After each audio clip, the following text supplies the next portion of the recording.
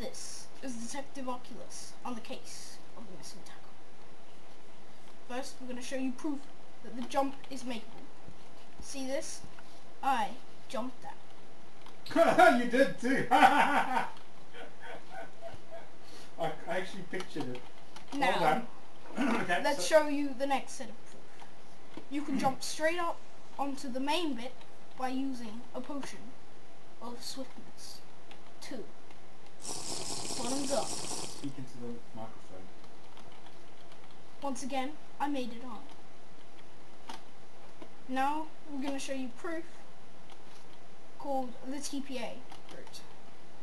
You see, a current person who has fly and is legitimately able to get up there, we should TPA to them. And let's see how that works. And it works. Like a charm.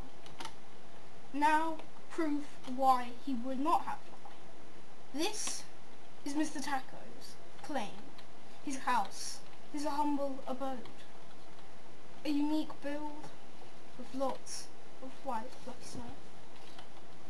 Now tell me why would a person with fly be using scaffolding and nerd poles?